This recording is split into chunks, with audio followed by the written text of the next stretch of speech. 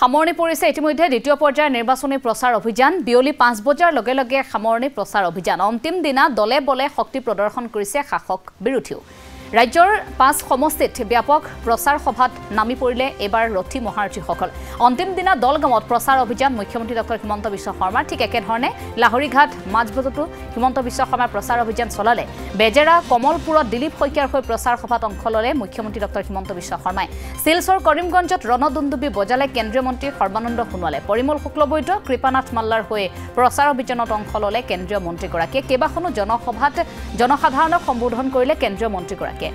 এই অনুষ্ঠানসমূহত অংশগ্ৰহণ কৰাৰ সমান্তৰালকৈ বাইক ৰেলীতো অংশগ্ৰহণ কৰিলে কেন্দ্ৰীয় মন্ত্ৰীগৰাকীয়ে প্ৰচাৰ সভাৰ সমান্তৰালকৈ বাইক ৰেলী শিলচৰৰ ইণ্ডিয়া ক্লাবৰ পৰা বিশাল বাইক ৰেলী কেন্দ্ৰীয় মন্ত্ৰী সৰ্বানন্দ সোণোৱালৰ অজস্ৰ লোকে তেওঁক সঁহাৰি জনোৱা পৰিলক্ষিত হ'ল। দ্বিতীয় পৰ্যায়ত ৰাজ্যৰ পাঁচ সমষ্টিত ভাগ্য নিৰ্ণয় হ'ব প্ৰায় এষষ্ঠিগৰাকীকৈ প্ৰাৰ্থীৰ।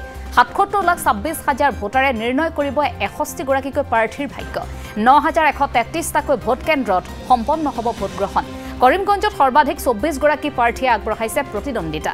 নগাঁৱত তেৰগৰাকী প্ৰাৰ্থীৰ মাজত হ'ব আসন দখলৰ যুঁজ। একেধৰণে দৰং ওদালগুৰিত হ'ব এঘাৰগৰাকীকৈ প্ৰাৰ্থীৰ মাজত প্ৰতিদ্বন্দ্বিতা। ঠিক একেধৰণে শিলচৰতো আঠগৰাকী প্ৰাৰ্থীৰ মাজত এই যুঁজ হ'ব আৰু ডিফুতো পাঁচগৰাকী প্ৰাৰ্থীয়ে প্ৰতিদ্বন্দ্বিতা আগবঢ়াইছে। তেওঁলোকে ইতিমধ্যে প্ৰচাৰ অভিযান চলাইছে আৰু দ্বিতীয় পৰ্যায়ৰ নিৰ্বাচনী প্ৰচাৰ অভিযান ইতিমধ্যে সামৰণি পৰিছে। ৰাজ্যৰ বিভিন্ন প্ৰান্তত ইতিমধ্যে যিকেইটা সমষ্টিত নিৰ্বাচন হ'ব সেই আটাইকেইটা সমষ্টিতে দেখিবলৈ পোৱা গৈছে প্ৰচাৰ অভিযান শাসক বিৰোধীৰো। সামৰণি পৰিছে এই নিৰ্বাচনী প্ৰচাৰ সভা দ্বিতীয় পৰ্যায়ৰ। বিয়লি পাঁচ বজাৰ লগে লগে প্ৰচাৰ সভাৰ সামৰণি পৰিছে আৰু অন্তিম দিনটোত দলে বলে শক্তি প্ৰদৰ্শন কৰিলে শাসক বিৰোধীও।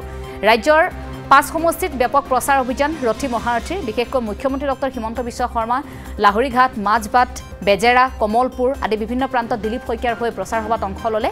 ঠিক একেধৰণে কেন্দ্ৰীয় মন্ত্ৰী সৰ্বানন্দ সোণোৱালেও শিলচৰ কৰিমগঞ্জত ৰণদুন্দুবী বজালে।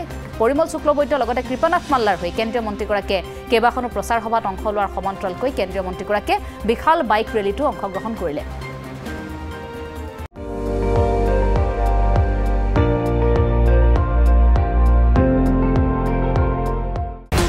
আপুনি চাই আছে এন ডি টুৱেণ্টি ফ'ৰ। সৰ্বশ্ৰেষ্ঠ নহয় সৰ্বোত্তমৰ দৌৰত।